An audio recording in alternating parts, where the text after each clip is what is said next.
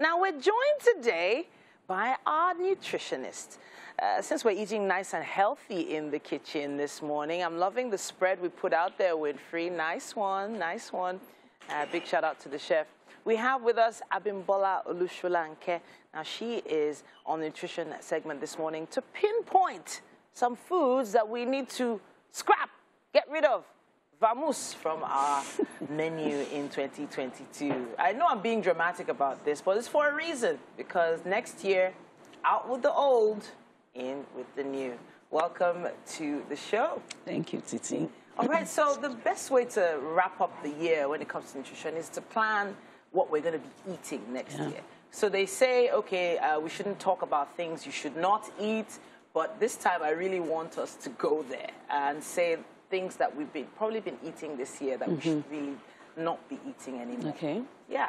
Okay, so before I go into that, can I like set a little background to okay. why I'm making today's recommendations? Okay. Right. You know, when COVID hit us in 2019, everybody was caught off guard. And then it brought into spotlight that our health was actually very completely compromised, a lot of people. Yeah. And your foundation is your nutrition. The foundation of your health is your nutrition, such that when you're taking medication, supplements, vaccines and stuff, yeah. if the foundation is not right, it's like building in thin air.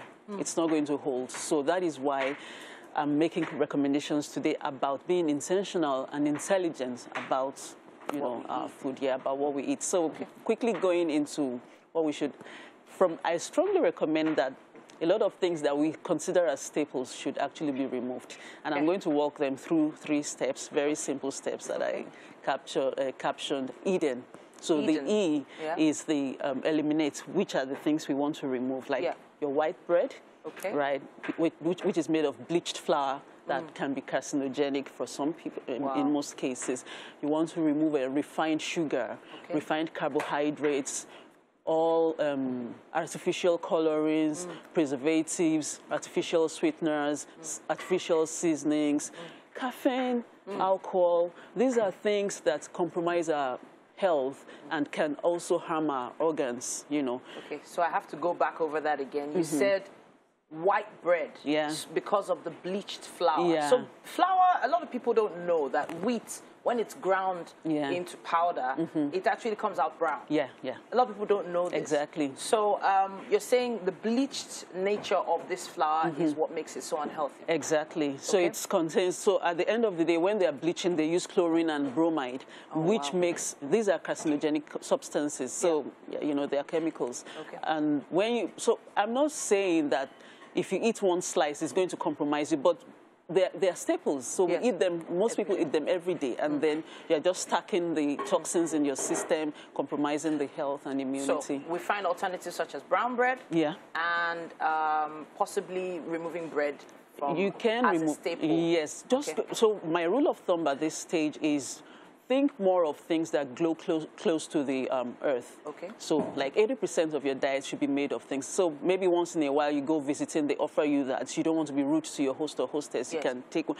But the, the, the, the, guiding principle should be 80% of what I'm eating should be whole, wholesome foods that okay. are close to the earth. All right. Now, artificial coloring. Yeah. Um, now, coloring, um, they all have color codes if you look yeah. at the ingredients on a, mm -hmm. a, mm-hmm. bottle of soda, for instance. Yeah. Most of the carbonated drinks are have uh, coloring like caramel, in it. Yeah. Uh, juice has yeah. mm -hmm. coloring added mm -hmm. to it as mm-hmm. well. Um, I know cake. A lot of people like red velvet cake. And now that red velvet cake is actually, it's, it's, it's packed full of coloring. Exactly, exactly. So why is food coloring so bad? They affect, they have also, um, like, um, I think, uh, glycol, pro propylene glycol, glycol, or something like yeah. that. You know, all these are technical names, but the bottom line is that they affect your kidney functions. Wow. Some of them affect your thyroid function. So if one is trying to lose weight, your thyroid is not functioning properly. Okay. Sorry. Yeah. It's going to I mean, it's going to frustrate the, the goal. Yeah. And also, some of them affect your, your cardiovascular system.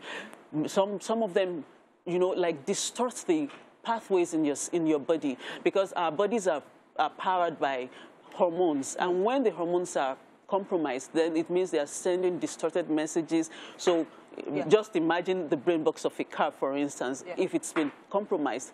If you are pressing the horn, for instance, Yeah. maybe the speaker will be, will be blasting or something. So that's what happens when it is compromised. And this is what these um, harmful foods do to our bodies. All right, so um, maybe stick with vanilla cake, which has no coloring in it. Yeah, you also want to, like, you know, the last time I mentioned Yeah. that ratios. Yes. So you can actually do your homemade bakings yourself. Okay. Like my, my daughter, we were eating bread yesterday, and she was like, oh, maybe we have to start baking our bread now. Yeah. Because most of the bread out there, they, are, they have improvers, they have all sorts of um, unhealthy sub- uh, substances that are, are compromising us. So you want to think in ratios, add some Hmm. help. Like maybe you want to bake your bread, you can add flaxseed or chia seeds. That is fiber. That those are omega-3 fatty acids that will help you get rid of the right. radical uh, free radicals Now, in your body. can we talk a bit about fast food? We have things like donuts that people grab every day, Yeah. Mm-hmm. meat pies, and the like. Now, these are all made of the same flour we're talking about, Yeah. but they're also fried.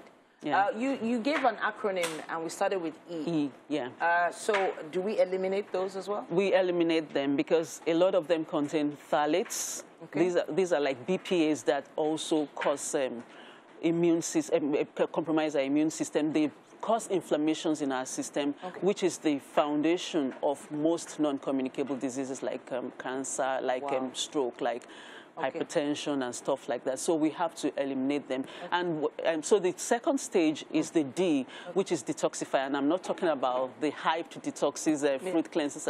These are just things that you can do naturally on daily basis because we are exposed to these tox- toxins on daily.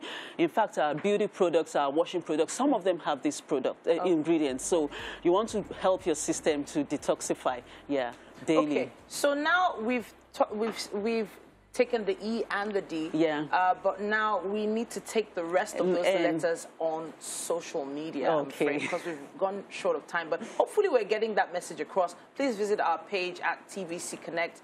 Uh, and uh, with the hashtag Wake Up Nigeria on TVC, make your comments. I have to say thank you so much for coming through for us this December. And uh, yeah, happy New I Year. hope that was useful. Oh, of course you were. And hey, for those of you out there who are wondering why you eat right, even if it's just because when you eat right, the dress will fit. no pun intended.